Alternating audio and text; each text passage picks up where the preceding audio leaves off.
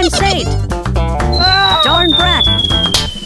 The small plane carries four passengers. I'm so exhausted. Ah, I feel much better now. Where's your backpack? Did you leave it in the car? I hung it there.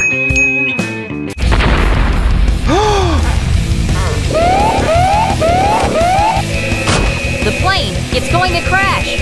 You only have three parachutes left. I'll go first. God bless you all. Bye-bye. Hey everyone, I'm a lawyer. I have many cases to handle. I'm planning to run for president in the future. I'll go first. Goodbye. I'm a legislator. There are many bills I need to review. The country still needs me. I'll go first. Child, there's only one parachute left. You go quickly. Mom, don't be sad.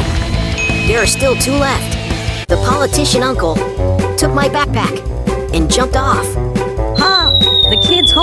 Look, darn brat!